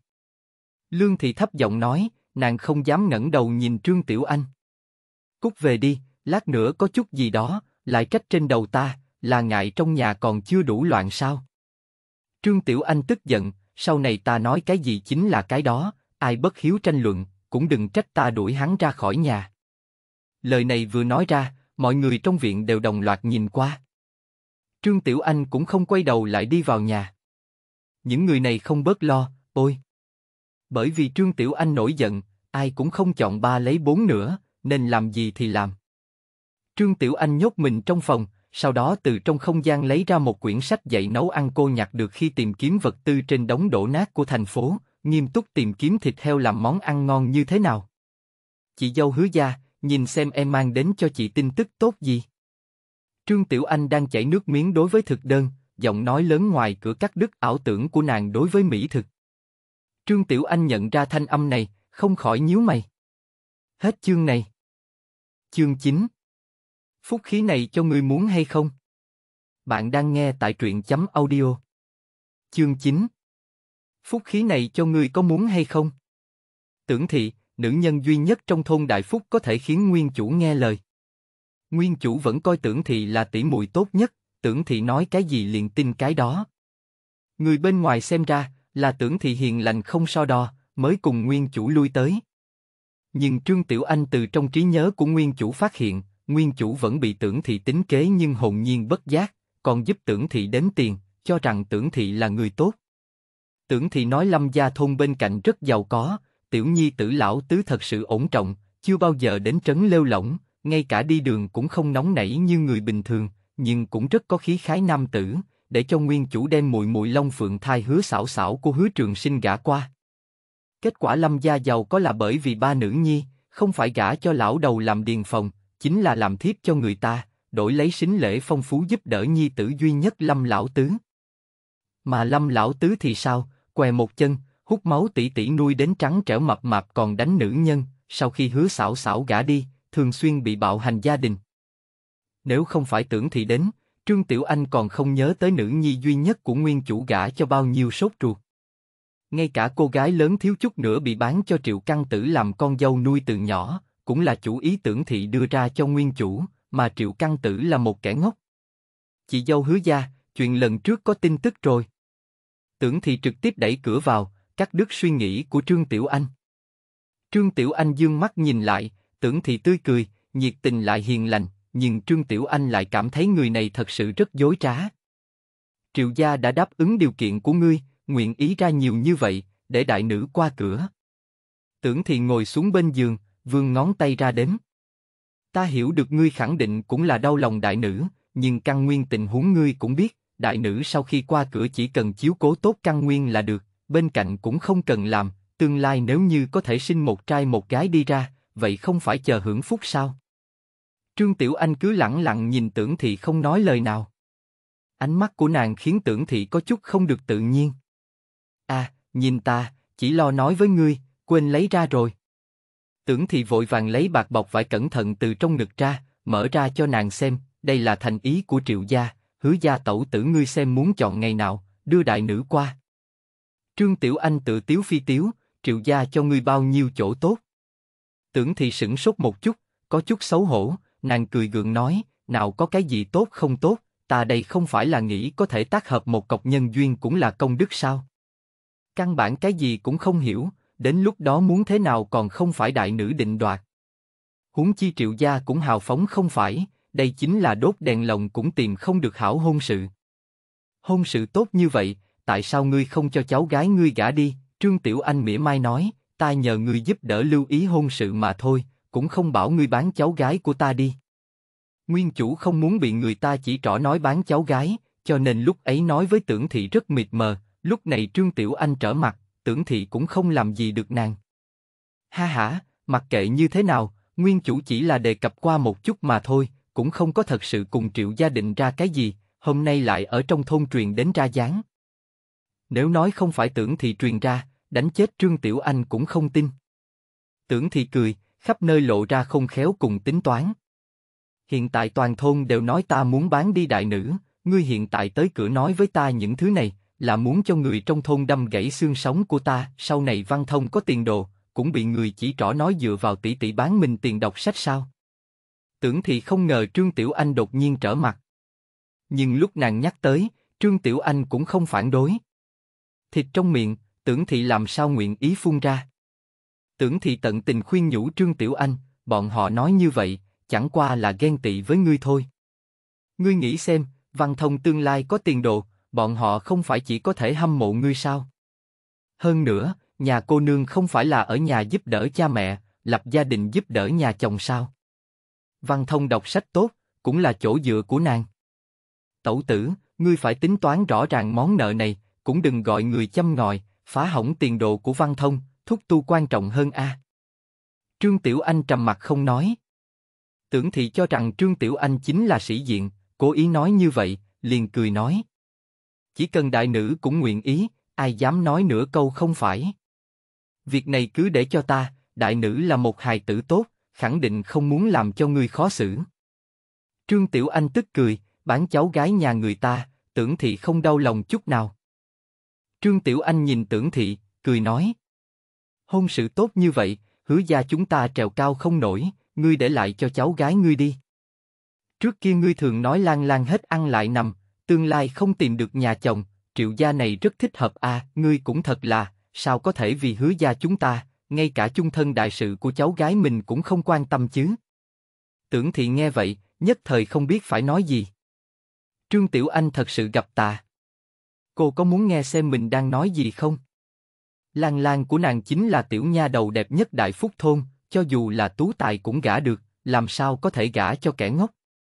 Ha ha, Lan Lan còn nhỏ mà. Đại nữ nhân nhà ta mới 6 tuổi, chẳng lẽ đã trưởng thành rồi? Chị dâu Lý Gia a, Lan Lan cô nương như vậy về sau cũng không dễ tìm người ta nha, thừa dịp có triệu gia như vậy chờ gả đi hưởng phúc, vẫn là sớm định đi, miễn cho về sau ở nhà không gả được, vậy có thể đập trong tay nha. Trương Tiểu Anh cầm tay tưởng thị, lời nói thấm thía, vô cùng nghiêm túc. Nếu ngươi ngượng ngùng, ta đi cùng triệu gia nói cũng có thể, vừa vặn hôm nay đánh con lợn rừng, nếu là hai nhà các ngươi thành chuyện tốt, ta cũng tiện nghi đem thịt heo bán cho các ngươi, mời khách cái gì có thể có mặt mũi. Tưởng thị suýt nữa phun ra một ngụm máu, nàng tức giận đến đỏ mặt, ta chính là thật tâm thật ý giúp ngươi, đừng như vậy tốt xấu chẳng phân biệt được, làm cho ta thành trò cười trong thôn. Nếu không là ngươi nói văn thông bó buộc không đủ, đại nữ hài ở nhà ăn cơm khô, ta sẽ bỏ mặt mũi già đi tìm hôn sự này cho ngươi. Hiện tại ngươi lại nói như vậy, làm cho giống như ta vội vàng muốn đem đại nữ nhân nhà ngươi gả ra ngoài. Trương Tiểu Anh trầm mặt, nói chuyện cũng không khách khí, gả. Hứa gia ta là nghèo, nhưng cũng không nghèo đến ngay cả cháu gái của mình đều bán trình độ, kia căn là người nào ngươi có thể không biết.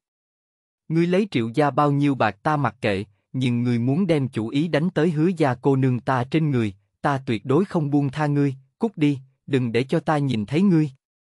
Ngươi, ngươi. Thật sự là không biết tốt xấu, là ta chó bắt chuột xen vào việc của người khác, về sau ngươi có cái gì khó xử, cũng đừng tìm ta. Sắc mặt tưởng thì tái mét, nổi giận đùng đùng đứng dậy rời đi. Trương Tiểu Anh thờ ơ. Vào đi. Chờ tưởng thì đi ra khỏi hứa gia, Trương Tiểu Anh hướng ra ngoài cửa hô một tiếng. Hết chương này. Chương 10. Không hỏi mà lấy coi là trộm. Bạn đang nghe tại truyện chấm audio. Chương 10. Không hỏi tự lấy coi là trọng tiếng nói vừa dứt, cửa phòng vậy cũng chậm rãi thò ra cái đầu nho nhỏ, trong đôi mắt to đen trắng rõ ràng, tràn ngập khẩn trương cùng sợ hãi. Trương Tiểu Anh nhìn không nói lời nào, tiểu cô nương liền cẩn thận từng chút từng chút tiến vào. Nghe được bao nhiêu rồi? Đợi cô đến gần, Trương Tiểu Anh mới mở miệng hỏi. Rõ ràng thần sắc của nàng rất bình tĩnh, đại nữ nhân như cũ có loại cảm giác áp bách mãnh liệt. Sữa, ngươi muốn bán ta sao? Một hồi lâu, đại nữ hài mới mang theo nước nở hỏi, sữa, ta cái gì đều có thể làm, về sau cũng sẽ hảo hảo hiếu kính ngươi, không nên đem ta bán đi triệu gia được không? Ta sợ căng tử ca. Tiểu cô nương cực lực không để cho mình khóc thành tiếng, nhưng nước mắt lại giống như hạt châu lạch cạch rơi xuống, nhìn liền sinh lòng không đành lòng. Trương Tiểu Anh rất ít khi thấy con nhỏ khóc, nàng không rõ vì sao nước mắt của tiểu cô nương lại nhiều như vậy, nhưng nàng đau lòng là thật. Ngoại trừ gốc rễ là một kẻ ngốc ra, triệu gia cũng không có gì không tốt phải không? Trương Tiểu Anh không vội vã an ủi đại nữ, mà hỏi ngược lại nàng. Đại nữ hài méo máu, khóc hoa mặt, hắn ngay cả mẹ hắn cũng đánh, ta sợ bị hắn đánh chết. Sữa, ta không muốn đi triệu gia, đừng để cho ta đi được không? Trương Tiểu Anh vẫy tay, ngươi lại đây. Tiếng khóc của cô bé nghẹn một chút, chần chờ một lát, đi lên phía trước. Trương Tiểu Anh đưa tay lau nước mắt cho bà ta. Được rồi, khóc cái gì? Dù thế nào thì cháu cũng là cháu gái ta, cho dù muốn bán cháu, cũng phải tìm một gia đình tốt một chút. Hơn nữa, cháu mới có thể giúp gia đình làm việc, tốt xấu gì cũng phải giữ cháu thêm vài năm, chờ văn thông thi đậu tú tài rồi nói sau. Thật vậy sao? Đại nữ hài nghe vậy không khóc. Ừ, Trương Tiểu Anh gật đầu. Sữa, ngươi thật tốt. Đại nữ hài thốt ra, tiếp theo nàng lại phản ứng lại chính mình giống như nói sai, lập tức cúi đầu không lên tiếng. Đi ra ngoài đi, giúp nhị thẩm xem lửa. Về phần ngươi lập gia đình, ít nhất cũng phải chờ người lớn lên rồi nói. Trương Tiểu Anh khoát tay, ý bảo nàng đi ra ngoài. Dù sao vẫn là trẻ con, nghe Trương Tiểu Anh nói như vậy, lo lắng của đại nữ tử tan thành mây khói, lập tức nở nụ cười, ừ, sửa nghỉ ngơi cho tốt, con ra ngoài giúp thím hai. Nói xong, cô gái lớn liền chạy ra ngoài. Mặc dù mặc qua cũng mới nửa ngày, nhưng Trương Tiểu Anh thật sự rất thích đứa nhỏ này. Ngoan ngoãn khéo léo, không giống kiếp trước trong những thằng nhóc kia mỗi người 108 cái tâm nhãn, tuy là hoàn cảnh tạo nên, nhưng tương đối mà nói, thấy nhiều như vậy hài tử, giống đại nữ hài tử loại này liền đơn thuần đến làm cho người ta rất khó chán ghét. Còn nữa, cô gái lớn tuổi này chính là thời điểm đắp nặng tốt nhất, hẳn là người hứa gia dễ dàng thay đổi nhất. Trương Tiểu Anh tiếp tục nghiên cứu thực đơn. Đến thế giới này, nàng cũng không muốn bạc đại chính mình. Ăn no ăn ngon là ưu tiên hàng đầu, về phần người cải tạo hứa gia, vậy đều phải dựa vào phía sau. Trương Tiểu Anh lật thực đơn xong, ghi nhớ những món cần làm rồi mới đi ra ngoài. Hứa Thanh Lâm cùng Hứa Trường Sinh đã đem lợn rừng lông cạo sạch sẽ, nhưng là hai người này cũng chưa từng giết qua heo, thật đúng là không biết kế tiếp phải xử lý như thế nào. Trương Tiểu Anh thấy bọn họ cầm đao vây quanh lợn rừng không thể nào hạ thủ, tức giận đi tới, đoạt lấy dao, đem heo lên bờ sông, ở đây dọn dẹp sạch sẽ. Hai huynh đệ bị dọa nhảy dựng, hứa trường sinh theo bản năng lui về phía sau, sợ lão nương khó chịu, đem đao bổ tới. Hắn nhưng là nghe vợ nói, lão nương sinh mảnh được rất, lợn rừng đều dám giết. Trương Tiểu Anh đi theo sau hai huynh đệ, ra bờ sông. Hai người chỉ thấy Trương Tiểu Anh vung đao rơi, liền mổ lợn rừng ra. Nương, ngươi sẽ giết heo à? Hứa Trường Sinh lấy lòng hỏi, trước kia như thế nào không thấy ngươi giết qua? Ta còn có thể giết người, ngươi có muốn gặp một lần không? Trương Tiểu Anh lạnh lùng liếc hắn một cái. Hứa Trường Sinh lập tức câm miệng. Trương Tiểu Anh cũng không trông cậy vào hai huynh đệ này nữa, nếu không trời tối cũng không xong. Nàng chỉ huy bọn họ rửa sạch nội tạng các loại đồ vật, nghe nói canh heo tạp cũng rất ngon. Lúc này chính là các thôn dân từ trong đất kết thúc công việc trở về thời điểm, tất cả mọi người sẽ đến bờ sông đến rửa nông cụ các loại, nhìn thấy hứa gia thành lý lớn như vậy một con lợn rừng, đều nhao nhao quăng tới hâm mộ ánh mắt. Thiếm hứa, lợn rừng lớn như vậy tự mình làm, là không định lấy ra bán sao? Ngoan ngoãn, nhiều thịt như vậy, ăn hết chưa? Hay là chia cho mọi người một chút đi? Con trai tưởng thị, Lý Quang cười hiếp mắt lại gần, vừa lúc mẹ ta cũng đã lâu không ăn thịt. Muốn ăn thịt sẽ không tự mình mua. Trương Tiểu Anh lườm hắn một cái, nói với ta làm gì? Thôn chúng ta ngoại trừ triệu gia, có ai là muốn ăn thịt liền có thể ăn? Lý Quang cười nói, hắn hạ giọng, giơ ngón tay lên, gần đây triệu gia giống như vẫn tới tìm mẹ ta, muốn cho mẹ ta giúp đỡ rể tìm vợ, xính lễ thế nhưng là cho đến cái này số. Cũng không đợi Trương Tiểu Anh nói gì, Lý Quang đã bắt đầu chọn thịt lợn rừng mà Trương Tiểu Anh đã chia, hai miếng thịt này không tệ, ta lấy về trước, lát nữa ta bảo mẹ ta tới tìm ngươi. Ngươi làm gì vậy? Trương Tiểu Anh trầm giọng quát, buông xuống. Lý Quang sững sốt một chút, tiếp theo nhếch lên khóe miệng, ta cầm về cho mẹ ta nếm thử nha, thím, chúng ta không phải người trong nhà sao? Ồ, là chỉ dưa chua thối mà chính các ngươi cũng không muốn ăn sao? Hay là để chúng ta đi giúp các ngươi thu dọn thức ăn sắp thối rửa trong ruộng, chọn ra những thứ tốt, còn lại cho chúng ta sao? Ngươi là quần cư, nguyên chủ làm cho nhân duyên của mình kém cỏi, cũng chỉ có thể móc tim móc phổi tưởng thị nguyện ý lui tới với nàng, cái gì cũng giúp đỡ tưởng thị. Mà chuyện tưởng thị tính kế nguyên chủ, khiến Trương Tiểu Anh nhớ tới liền ghê tởm. Nhớ không lầm, đại nữ hài rất sợ Lý Quang, đáng tiếc nguyên chủ cùng người hứa gia đều không thèm để ý. Nhìn thím nói kìa. Khán giả trong đại đình, bị Trương Tiểu Anh nói như vậy, Lý Quang cũng dối trá và sĩ diện như tưởng thị nhất thời xấu hổ, con muốn quay lại bảo mẹ đưa tiền tới sao? Con mới từ dưới đất trở về, trên người làm gì có tiền chứ? Không có tiền thì bỏ xuống, không hỏi tự lấy coi là trộm, nhà các ngươi cũng có người đọc sách, chẳng lẽ ngay cả lời này cũng chưa từng nghe qua? Trương Tiểu Anh giật lấy miếng thịt đẹp nhất của hắn, lấy đi hai miếng thịt ngon nhất trên người lợn rừng. Ngươi nói không được là được, có cần thiết phải làm như vậy qua sao lý gia chúng ta cũng không phải kia đẳng vô lại lưu manh, còn có thể ngắn ngươi tiền bạc sao? Những người khác bên bờ sông thấy thế, xì xào bàn tán. Nhìn xem hứa gia kia mí mắt nông, chút đồ vật này cũng so đo, lý gia cũng không ít giúp bọn họ hứa gia, lớn như vậy một con lợn rừng, hai khối thịt mà thôi, có cần thiết không? Ngươi cũng không phải không biết, chỉ có hứa gia chiếm tiện nghi người khác, nào có người khác từ hứa gia dính nửa điểm chỗ tốt. Dù sao cũng chỉ có lý gia ngốc, thế nào cũng phải làm cái kia thiện nhân, cùng hứa gia lui tới, cái này tốt rồi, mặt mũi đều mất, còn bị người nói là trộm. Còn không biết này lợn rừng là từ đâu tới, Lý Quang cũng dám đụng, nói không chừng đến lúc đó chọc một thân phiền toái trở về. Chờ một chút, sẽ không phải là lưu gia đi. Hết chương này.